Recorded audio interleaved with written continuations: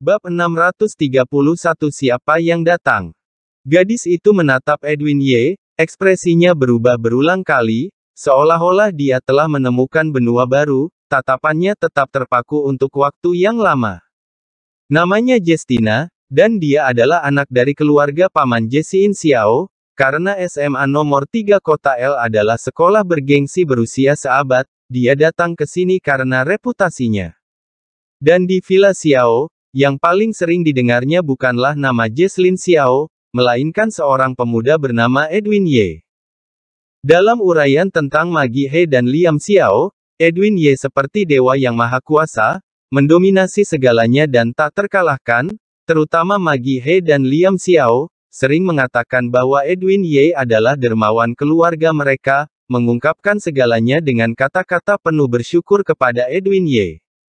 Beberapa hari yang lalu ketika Jesslyn Xiao kembali ke Villa Xiao, dia juga dengan penasaran bertanya kepada Jesslyn Xiao tentang Edwin Ye.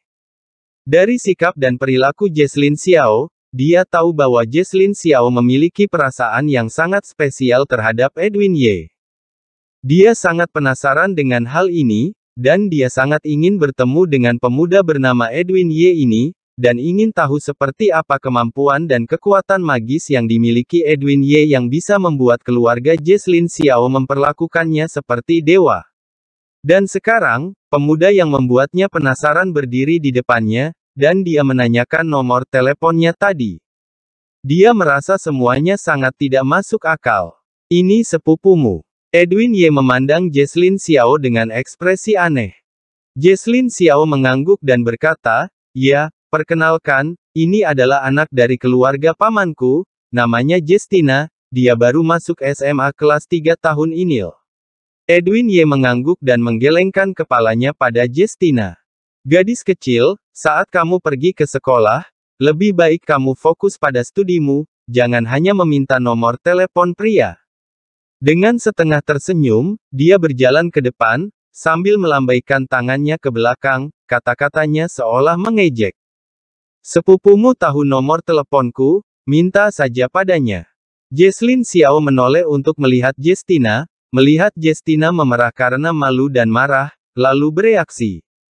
Dasar, apa kamu bosat dan ingin bermain permainan aneh, sampai meminta nomor telepon kakak Edwin Ye. Justina menjulurkan lidahnya dan merangkul Jesslyn Xiao. Kak, aku tidak tahu dia adalah kakak Edwin Ye. Kalau aku tahu, Dibunuh saja aku tidak akan berani buka mulut meminta yang aneh-aneh hingga merebut pria orang lain. Mendengar nada menggoda Justina, Jesslyn Xiao menunjuk ke dahinya dengan marah. Apa yang kamu bicarakan? Justina menjulurkan kepalanya, masih tersenyum. Apa aku salah? Kalau bukan karena takut kamu malu, aku sudah memanggilnya kakak ipar tadi. Wajah Jesslyn memerah, dia sangat malu, tapi dia tidak membantah. Melihat Edwin Ye berjalan pergi, dia menepuk bahu Justina dan mengejar Edwin Ye. Saat Jesslyn Xiao dan Edwin Ye pergi, mereka yang lainnya bergegas mendekat.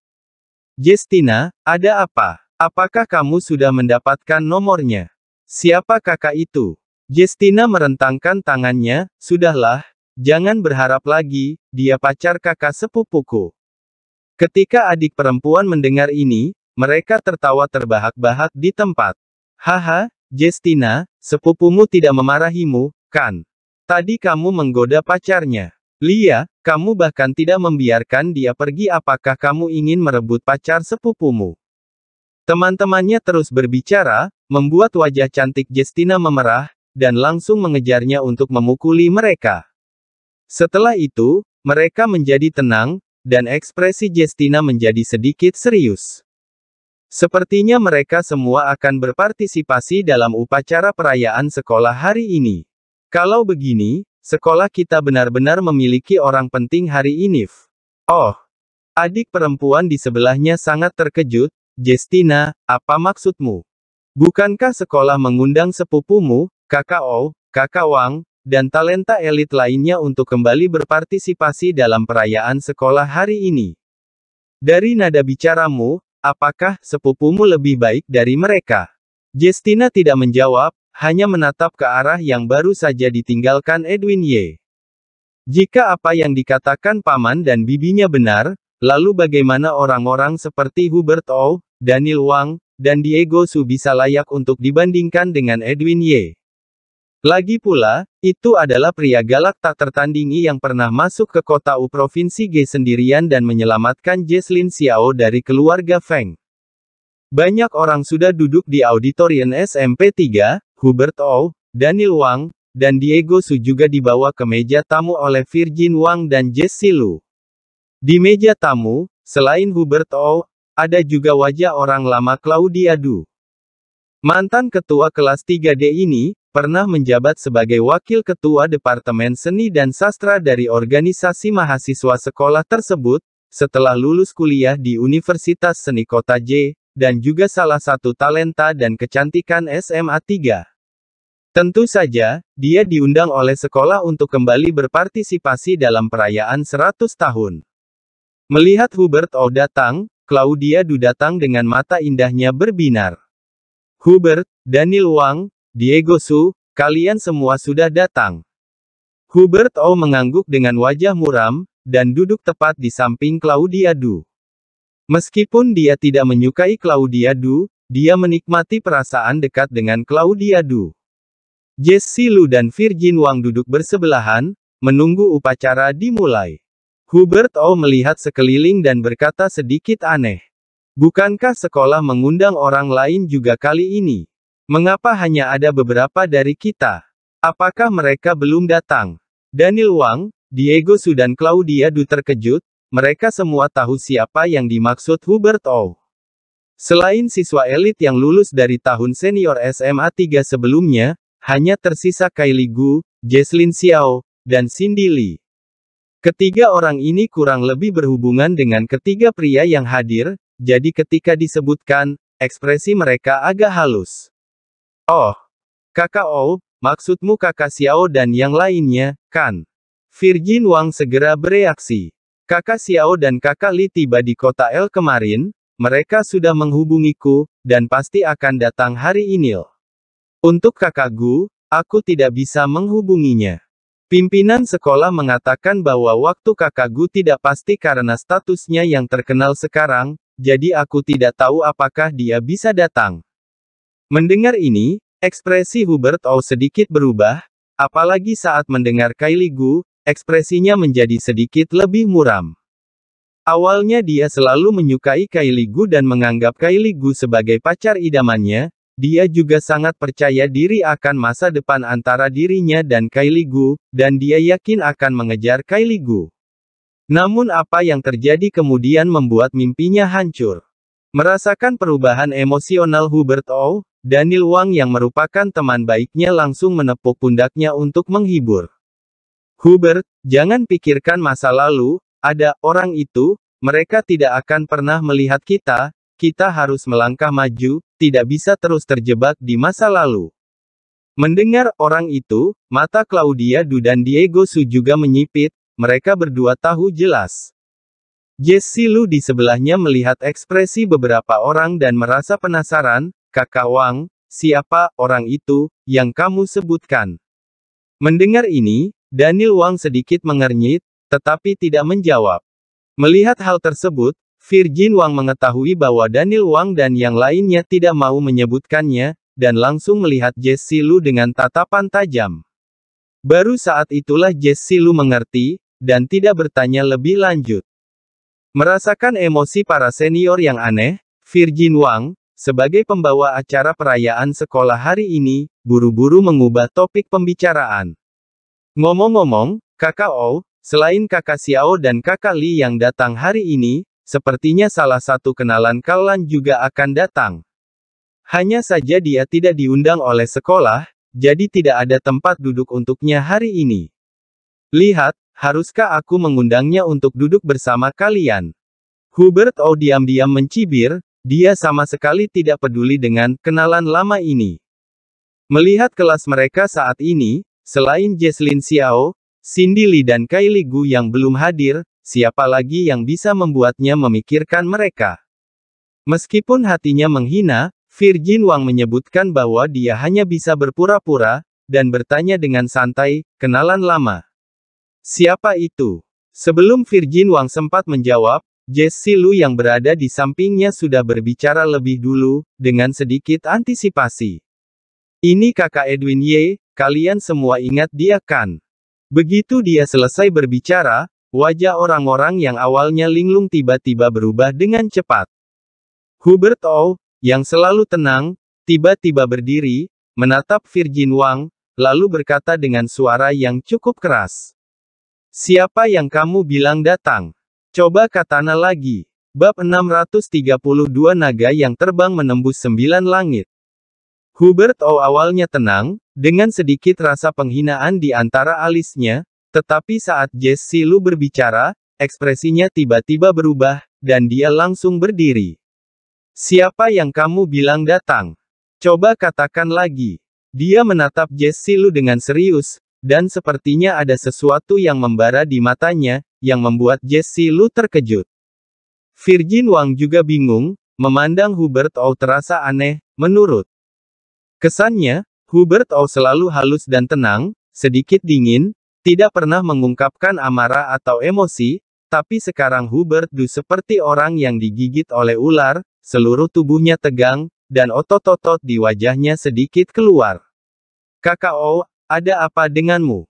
Jesse Lu menundukkan kepalanya, mengira dia telah mengatakan sesuatu yang salah, dan berkata dengan sedikit panik.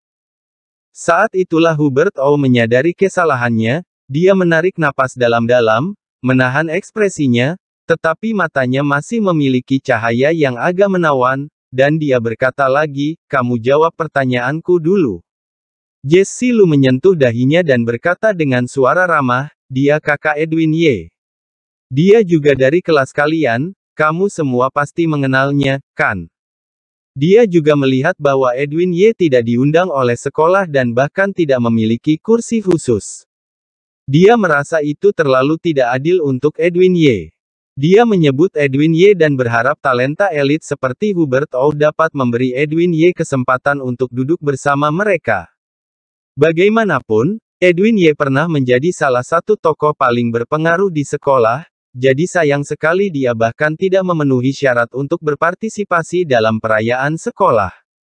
Edwin Ye. Hubert O menoleh ke Virgin Wang dengan mata serius. Apakah kamu benar-benar melihat Edwin Ye di sekolah? Dia tidak bertanya Edwin Ye yang mana, karena dia terkenal di SMA 3, dan siswa bernama Edwin Ye, Selain keberadaan yang menakutkan itu, tidak ada orang lain. Ya, Virgin Wang tidak mengerti mengapa, tetapi masih mengangguk. Jesse melihatnya dengan matanya sendiri, ada apa kakak O, apakah ada masalah? Dia merasa sangat aneh karena keempat mantan elit sekolah ini menunjukkan ekspresi tertekan saat mendengar nama ini, seolah-olah mereka telah ditekan oleh sesuatu. Dia tidak mengerti mengapa orang-orang ini bereaksi begitu berlebihan ketika mendengar nama Edwin Ye. Hubert O tidak menjawab, tetapi hanya duduk dengan linglung, dengan ekspresi yang belum pernah terjadi sebelumnya di wajahnya, dan bergumam pada dirinya sendiri, dia, dia kembali. Diego Su dan Daniel Wang di sebelah mereka menelan ludah dan tidak berkata fra arah.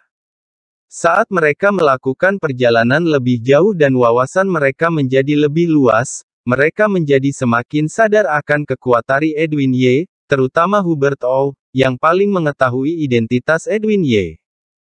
Presdir Grup Lingtian dan Tuan Ye Provinsi C, kedua identitas ini seperti gunung seribu juta dolar, siapa pun dari mereka, semuanya perlu menghabiskan seumur hidup untuk mencapai ke titik pencapaian Edwin Ye, bahkan seumur hidup saja belum tentu cukup. Edwin Ye telah menghilang selama lebih dari setahun, dikabarkan bahwa dia meninggalkan kota L, tetapi sekarang Edwin Ye sudah kembali. Mata Claudia Du yang indah juga bergetar, dan dia ingat pemuda yang acuh tak acuh itu. Dia juga memiliki beberapa masalah dengan Edwin Ye. Dia sempat meremehkan Edwin Ye, tetapi kemudian dikejutkan oleh status Edwin Ye yang mencengangkan. Bibirnya bergerak sedikit, dan dia berbicara lebih dulu. Mungkinkah Jesse salah lihat orang?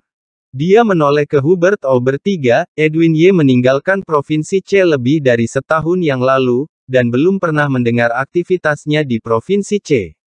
Dengan identitas dan statusnya saat ini, seluruh Tiongkok dan bahkan dunia memperhatikannya, bagaimana mungkin dia kembali ke Provinsi C. Dan dia kembali saat perayaan sekolah. Dengan statusnya yang semakin besar sekarang, apa mungkin dia bersedia untuk hadir ke perayaan sekolah kecil ini? Meskipun hati Claudia Du sedikit bergetar, dia tetap menganalisis dengan tenang dan berbicara dengan santai. Ketika Daniel Wang mendengar kata-kata itu, dia juga ikut berkata, Claudia benar. Dengan statusnya, perayaan sekolah sama sekali tidak menarik perhatiannya. Bagaimana dia bisa kembali dan muncul di sekolah? Jesse pasti salah lihat orang. Atau mungkin dia baru saja bertemu alumni lain dengan nama dan marga yang sama dengan Edwin Ye. Hubert O dan Diego Su sedikit mengerutkan kening, dan menatap Jesse Lu, mereka juga merasa aneh, Edwin Ye sudah terlalu besar untuk kembali ke Provinsi C, bahkan raksasa Tiongkok juga menghormatinya, bagaimana mungkin dia bersedia hadir ke perayaan sekolah yang biasa saja seperti ini. Jesse Lu sedikit terkejut, lalu memberi isyarat dengan tangannya, kakak Edwin Ye yang aku temui, tingginya 1,85 meter, mengenakan pakaian kasual, dan terlihat sangat tampan, bukankah itu benar kakak Edwin Ye yang kalian kenal? Setelah mendengar penjelasan penampilan Edwin Ye dari Jesse Lu, orang-orang yang semula santai kembali mengubah ekspresi lagi. Bukankah gambar yang dijelaskan oleh Jesse Lu memang benar adalah Edwin Ye yang mereka kenal? Tidak mungkin. Apakah dia benar-benar kembali? Claudia Du berkata dengan takjub dengan ekspresi tidak percaya di matanya yang indah. Wajah Hubert O muram, matanya bergetar dan satu kepalan tangan sedikit terkepal, seolah-olah dia sedang menghadapi musuh. Setelah lama terdiam, Hubert O berdiri dan mengeluarkan sebatang rokok dari sakunya. Aku mau keluar untuk merokok, aku akan kembali sebelum acara dimulai. Diego Su dan Daniel Wang juga berdiri saat ini, ayo, kami ikut juga. Mereka bertiga sepertinya sudah membuat janji, karena langsung bersamaan dan semua keluar dari auditorium, hanya menyisakan Claudia Du, Virgin Wang, dan Jesse Lu. Virgin Wang memiliki hubungan paling dekat dengan Claudia Du di perkumpulan murid. Dia mendekati Claudia Du dan mau tidak mau bertanya, kakak Claudia, ada apa dengan kakak O dan yang lainnya? Mengapa mereka tampak takut ketika mendengar nama kakak Edwin Ye? Ketika Virgin Wang bertanya, Jesse Lu mendekatkan kepalanya, matanya berbinar karena penasaran. Claudia Du meneguk air mineral sebelum menghela nafas. Takut. Tentu saja. Karena mereka bertiga kalau digabungkan saja masih tetap kalah jauh dengan Edwin Ye. Jawaban Claudia Du membuat Virgin Wang dan Jesse Lu tertegun. Kak Claudia, bagaimana mungkin? Virgin Wang menggelengkan kepalanya dan berkata dengan tidak percaya, Kakak Edwin Ye sangat hebat, aku tahu itu, tapi itu dulu, kan? Pada saat itu, dia mendapat nilai ujian tiruan tertinggi dalam sejarah sekolah, tetapi dia tidak melanjutkan studinya, tapi malah tidak lanjut kuliah. Dia bahkan tidak mengikuti ujian masuk perguruan tinggi. Ini sama saja dengan menghancurkan masa depan sendiri, dan KKO dan yang lainnya semuanya berhasil dalam studi mereka dan pergi ke sekolah bergengsi. Meskipun kakak Edwin Ye lebih baik dari mereka, tidak peduli bagaimana mereka dibandingkan sekarang, KKO dan yang lainnya pasti jauh lebih baik dari dia, kan? Claudia Du terkekeh dan menggelengkan kepalanya, dengan senyum pahit di matanya. Itu hanya tampak dari luar. Ujian masuk perguruan tinggi apa, Masuk sekolah bergengsi apa, untuk Edwin Ye, dia tidak membutuhkannya sama sekali. Posisinya jauh lebih tinggi daripada mereka yang lulus dari sekolah bergengsi dengan gelar dokter sekalipun. Bahkan jika Hubert O dan yang lainnya bekerja keras selama berpuluh-puluh tahun, mereka mungkin tidak dapat mengejar pencapaian Edwin Ye. Mata Claudia Du sedikit terfokus, dan nada suaranya dipenuhi dengan emosi dan kekaguman. Jika benar-benar ingin membandingkan dia dengan kita, kita hanyalah semut di tanah. Dan dia adalah naga yang terbang menembus sembilan langit. Bab 633 SMA 3 menjadi heboh. Setelah Claudia Du selesai berbicara, Jesse Lu dan Virgin Wang membeku di tempat, ekspresi mereka menjadi semakin tidak percaya. Terlebih lagi Virgin Wang, dalam persepsinya, Edwin Ye berhenti sekolah dan tidak ikut ujian masuk perguruan tinggi, ini sama saja dengan menutup pintu masa depan, untuk membukanya lagi tentu harus melewati pegunungan dan sungai, sungguh sulit sekali untuk kembali. Dia yakin bahwa bakat seperti Hubert O adalah bakat yang sebenarnya, pilar masa depan negara, elit kelas atas, sedangkan Edwin Ye hanyalah warga negara biasa yang bahkan tidak ada gelar sarjana. Membandingkan keduanya, dia secara alami berpikir bahwa Hubert O dan yang lainnya berdiri lebih tinggi, tetapi sekarang Claudia Du mengatakan bahwa mereka adalah semut di tanah, sedangkan Edwin Ye adalah naga yang terbang tinggi membubung ke langit. Kak Claudia, kakak Edwin Ye benar-benar sehebat yang kamu katakan. Virgin Wang kembali sadar dan tidak bisa berhenti berkata, kakak Edwin Ye bahkan tidak mengikuti ujian masuk perguruan tinggi, bahkan jika dia benar-benar memiliki latar belakang dan keterampilannya sendiri, tetapi Anda mengatakan bahwa kakak O dan mereka bersama-sama bisa dibandingkan dengan dia, bahkan setelah 10 tahun kerja keras tidak bisa menyusulnya, Bukankah itu terlalu dibesar-besarkan? Dia masih tidak percaya bahwa ada kesenjangan yang begitu besar antara Hubert O dan yang lainnya dan Edwin Ye, dia benar-benar ingin tahu apa yang membuat Claudia Du menilai Edwin Ye begitu tinggi. Aku tidak melebih-lebihkan sama sekali. Claudia Du memasang ekspresi serius, kekuatannya di luar imajinasi kalian. Hubert O, Daniel Wang, dan Diego Su hanya mengetahui identitas Edwin Y. Presdir Group Lingtian dan Tuan Y. Provinsi C, tetapi dia tidak. Dia berada di kota J, belajar di Universitas Seni Kota J, dan tentu saja menginjakkan kaki di lingkaran sosial kota J, dan nama Edwin Y sudah menjadi legenda di kelas atas kota J. Satu orang menginjak JM, memaksa pendiri JM, Rocky Jiang, untuk meminta maaf beberapa kali. Bahkan pemuda kaya raya dari empat raksasa harus tunduk saat bertemu Edwin Ye, dan Edwin Ye mengalahkan tujuh jenderal, memaksa keluarga Jiang yang sedang naik daun untuk meninggalkan kota J, dia hampir bisa melafalkan semua hal ini. Salah satu dari hal-hal ini cukup untuk menimbulkan sensasi di Tiongkok. Tetapi Edwin Ye adalah peran utamanya. Bagaimana bisa dibesar-besarkan untuk mengatakan bahwa karakter seperti itu adalah naga di langit? Kakak Claudia, siapa kakak Edwin Ye? Bisakah kamu menceritakannya sedikit saja? Mendengar nada Claudia Du, keraguan di hati Virgin Wang tersapu, tetapi masih ada keraguan yang tersisa. Jika Edwin Ye benar-benar sekuat yang dikatakan Claudia Du, lalu apa identitas Edwin Ye dan dukungan apa yang dia miliki? Itu berarti Edwin Ye sangat tangguh, kenapa dia tidak diundang ke perayaan sekolah? Bahkan tidak ada tempat duduk untuknya. Seolah melihat keraguan Virgin Wang, Claudia Du menggelengkan kepalanya. Kalian pasti bertanya-tanya mengapa sekolah tidak mengundang Edwin Ye yang sekuat itu, kan? Terlihat melalui pikirannya, Virgin Wang tidak membantah, tetapi hanya mengangguk. Claudia Du hanya bisa menghela nafas, itu karena level sekolah kita terlalu rendah.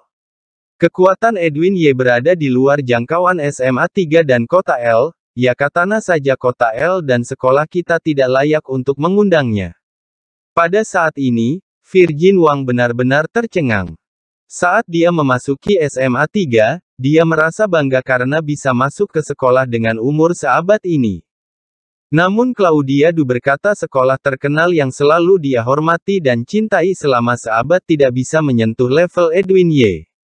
Jesse Lu di sebelahnya sudah tercengang. Dia ingat bertemu Edwin Ye di warnet dan meminta Edwin Ye untuk meminjamkan kartu identitasnya, dan tiba-tiba dia merasa aneh.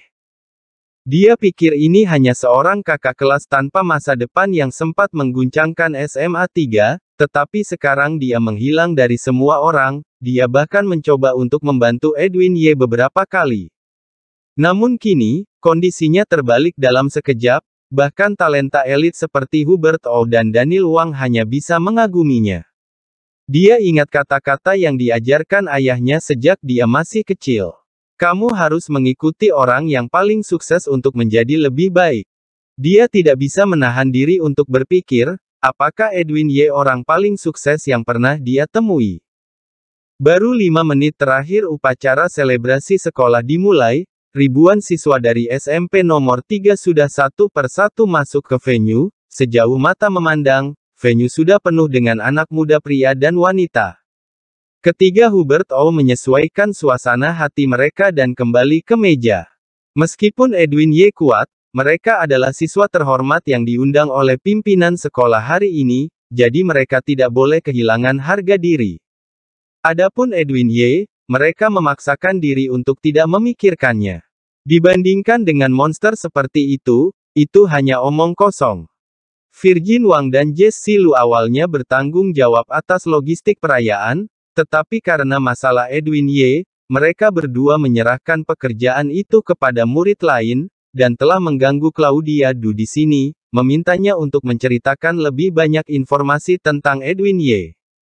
Tapi Claudia Du tutup mulut sepanjang waktu, dia tidak memberi tahu mereka terlalu banyak tentang status Edwin Y yang terlalu menakutkan dan terlalu sensitif. Dia khawatir mulutnya yang banyak bicara nanti akan membawa bencana bagi dirinya sendiri. Saat kedua gadis itu terjerat dengan Claudia Du, tiba-tiba ada ledakan seruan di tempat tersebut, dan samar-samar ada yang berkata, kakak kembang sekolah, dan wanita cantik, terutama anak laki-laki di tempat tersebut, mereka tiba-tiba menjadi heboh seperti ada keributan. Hubert O yang lainnya juga menoleh pada saat ini, dan mata semua orang tertuju ke pintu masuk. Di sana, dua wanita cantik berjalan ke depan, memperlihatkan tubuh anggun mereka, mereka adalah dua mantan gadis cantik sekolah SMA 3, Jesslyn Xiao dan Cindy Lee. Pada awalnya, Jesslyn Xiao, Cindy Lee, dan Kylie Gu dikenal sebagai tiga wanita cantik di kampus. Entah berapa banyak anak laki-laki di sekolah yang terpesona oleh mereka. Dari tahun pertama hingga tahun ketiga sekolah menengah, selalu ada pria yang mengejar hati mereka. Kini hadir dua dari tiga siswi alumni tercantik kampus yang langsung membuat heboh seluruh orang. Ada keributan sesaat di venue, lalu mata semua orang langsung berhenti, atmosfer di arena tampak membeku, dan benar-benar sunyi, bahkan jarum yang jatuh ke lantai bisa terdengar dengan jelas. Satu demi satu, mereka menatap dua gadis caritik sekolah di pintu masuk, tepatnya, mereka melihat sosok pria muda di tengah dua gadis cantik itu. Pria muda itu mengenakan pakaian santai, berjalan di antara dua wanita cantik sekolah, tangannya dipeluk oleh kedua wanita cantik itu dan mereka menariknya ke dalam venue. Ada banyak anak laki-laki dengan mata iri penuh kecemburuan menatap In, Hal seperti ini adalah impian bagi semua pria di sini. Namun, pemuda berpakaian santai itu memiliki ekspresi acuh tak acuh berjalan dengan santai dengan didampingi dua wanita cantik itu. Bukankah sudah cukup? Bisakah kamu melepaskannya? Pria muda itu menarik tangannya, dengan sedikit ketidakberdayaan. Aku tidak mau ikut, aku juga diseret ke sini olehmu, ada banyak orang di sini, bukankah tidak enak dilihat orang-orang seperti ini? Jesslyn Xiao dan Cindy Lee tidak melepaskannya saat mendengar kata-kata itu, tetapi malah terlihat waspada. Bagaimana kalau kami lepaskan dan kamu melarikan diri? Pemuda itu terlalu malas untuk berbicara dengan mereka, tetapi menggelengkan kepalanya dengan tak berdaya. Pada saat ini, semua orang di tempat tersebut sadar. Saat ketiganya mendekat, banyak anak laki-laki dan perempuan telah melihat wajah Edwin Y dengan jelas. Di antara kerumunan tiba-tiba ada seruan. Kakak Edwin Y. Itu kakak Edwin Y. Saat suara itu menyebar, lebih banyak orang di tempat tersebut tiba-tiba sadar, dan mereka semua ingat sosok cantik yang mengejutkan semua orang di atas panggung lebih dari setahun yang lalu. Kedua sosok itu berangsur-angsur tumpang tindih di hati para siswa SMA 3 ini, dan sekarang siswa tahun kedua dan ketiga berteriak keras.